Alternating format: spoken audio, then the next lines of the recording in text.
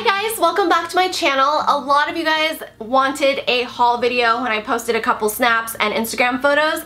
So basically I had been on a no-buy since I've been back on Europe, back on Europe, back from Europe and I have been running around Orange County and LA a lot. My mom's in Orange County so I've been seeing her a lot because of things and they have a really nice Sephora and I did a little bit of damage. A little, that's a, this is like one of the biggest Sephora bags I've ever had.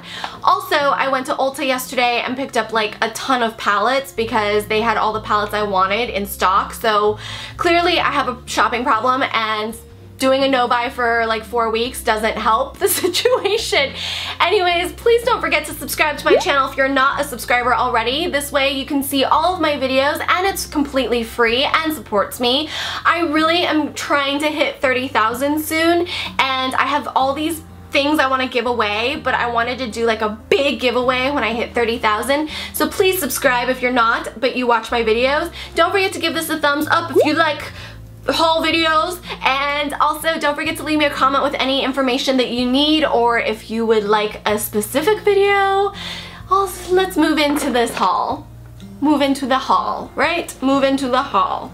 I don't know, I'm feeling weird. I It's really early. I'm filming earlier than typical that interesting, but I thought I would try out the Shiseido facial cotton pads. These are like cotton rounds but squares and I hear really really good things about these. They're 100% cotton. They're supposed to be really soft. So I will get back to you on if it's worth spending about $9 on cotton pads.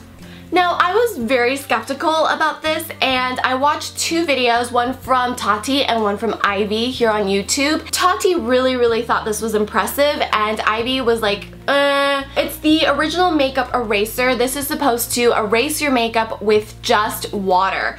I do have to wash this before the first use and then you like put, dip it in water and it's supposed to remove all of your makeup. So let me know if you guys want a first impressions on this or a review on this or if you rather just have a blog post or something. Let me know what you want on any of these products.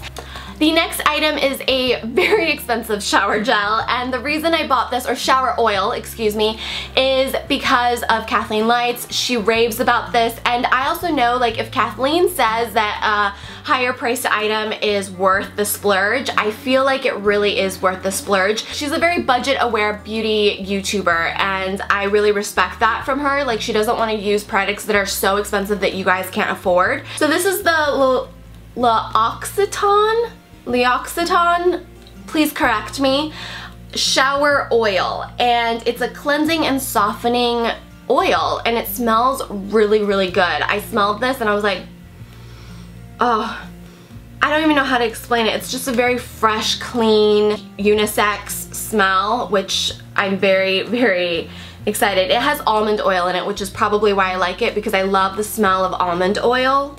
Weird, right? Totally weird. I got this new brand, and I'm going to say it wrong. It's called Erborian. It's a Korean skin therapy brand, and this is new at Sephora. So I picked up two items. It, the first item I got was the Baby Skin Effect Makeup Care Face Cream 5-in-1. So this is a BB cream, and it has a pretty decent coverage. It has a physical SPF of 20, so that's nice. And I got the Erborian Korean Skin Therapy Solid Cleansing Oil. I tried this on my hand and it was really, really nice, so I'm quite excited about this. And it kind of looks like green jello, but it's a solid and once you like work it into your face or your skin it turns into a nice creamy oil and then obviously you wipe it off or rinse it off so I'm quite excited that Sephora is starting to carry more Korean or Asian beauty brands because it is hard to find in the US basically, I've been watching Carla, my friend, here on YouTube. She just got a new camera, so she's been posting more YouTube videos. She has an amazing blog called Fashion Maven Mommy, and she has a YouTube channel now, which I will try to remember to link in the description box. She doesn't blow dry her hair anymore, and I rarely blow dry my hair. I only do it if I need to go somewhere, and a lot of times I still won't blow dry it. I'll just go out with wet hair. This is the uh, Bumble and Bumble Don't Blow It Hair Styler for great hair days without the heat or hassle. This is supposed to be a great way to add texture and tame your hair, but also like just an all-in-one product for when you're not going to use a blow dryer or any heat styling tools, which is perfect for hot weather, perfect if you're trying to give your hair a break from all that heat. Again, another Kathleen Lights kind of pickup was the healthy deodorant from Lavanila and this is the vanilla coconut deodorant. I tried the vanilla one and I smelled worse than if I wasn't wearing any deodorant and I tried it for a good solid like month. Here's the thing, I've been using natural deodorants since 2005 or 2004. Well, it's not that my body isn't used to natural deodorants, it's used to it. I use the Crystal Rock one and I've and for quite a few months now I've been using the Wish wipes which are also all natural but the Wish wipes I feel like are a little wasteful because there's so much product still on it, on the wipe, and I have to toss it because it'll dry out.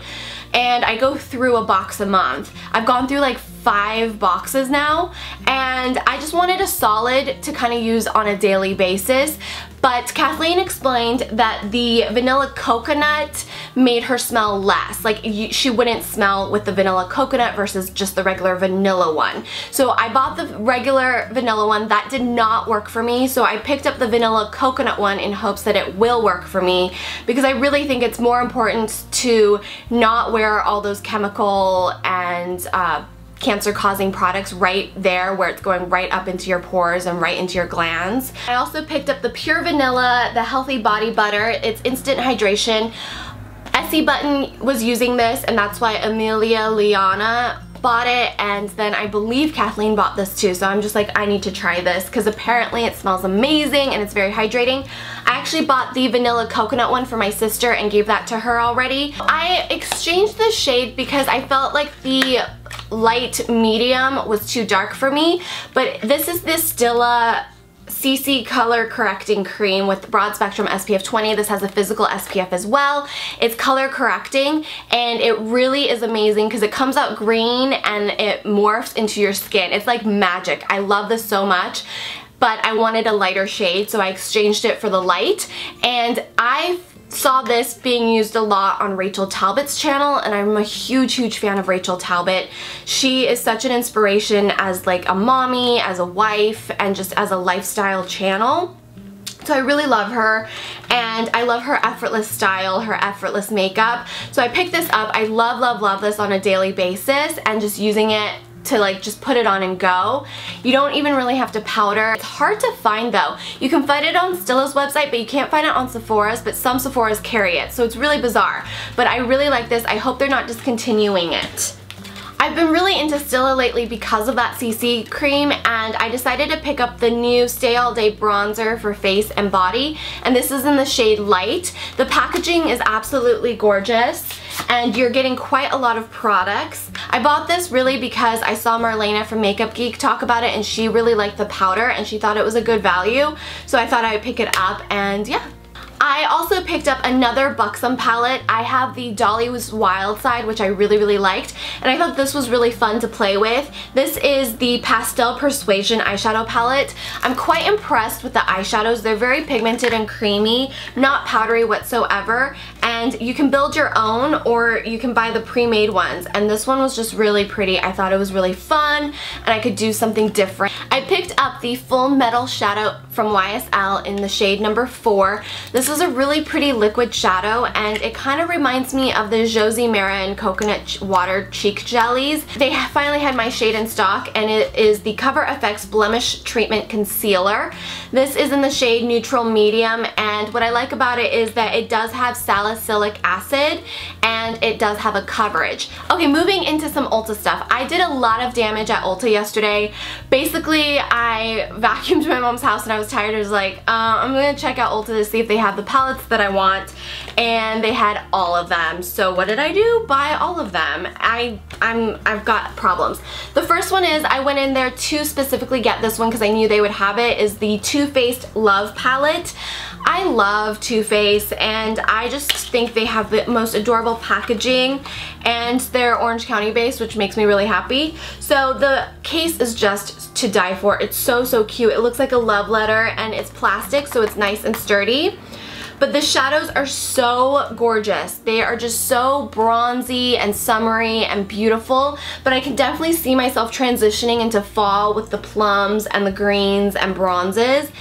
The next palette I picked up is the Anastasia Shadow Couture World Traveler palette and this is just beautiful. I didn't know if I was going to get it but then I saw it in person and I was like I have to get it. So the packaging is quite nice. It's got this like little uh, textured cardboard feel to it.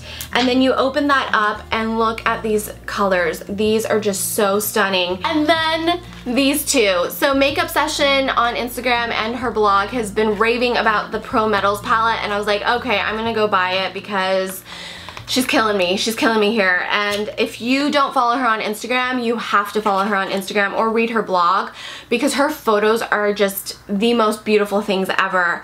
And this is the Pro matte or pro metals this is so so gorgeous so creamy so stunning Ugh. and I love the packaging because it's like the tiny packaging so pretty and then, because they also had the mats there, I was like, I have to get the mats because this is like the perfect matte travel kit. Not that I would ever travel with just mats because I would always want some sort of shimmer to go on the center of my lid at the very least. But this is just so beautiful and they totally got me. Like, oh, oh, right? I don't know why I needed this since I have Pro 1 and 2 and the Mega Pro. I just, Lorac makes the most beautiful, soft, creamy, pigmented shadows ever and these just, I had to get them. I don't know what's wrong with me. What's wrong with me? Lastly, I picked up an IT Cosmetics Tight Line Lash Full Length Black Primer and I saw Wayne Goss talk about this and I just was like, I have to try this. I hope you guys enjoyed this haul. Please don't forget to subscribe to my channel up over here. Check out all of the cards linked up over here. You can see all of my playlists and videos that I think you would enjoy because you watched this video. Don't forget to check out my last video over here. I have it annotated, you can check it out. Or you might enjoy some of the other videos that I suggest in the description box. All the products I will try and find for you and link in the description box below. Please, please don't forget to give this video a big thumbs up. It really helps me out. And I love to hear your thoughts. Let me know in the comment section if there's something specific you want to review on or if you have any questions. I've been like putting off trying all this stuff until I could get a chance to film it for you.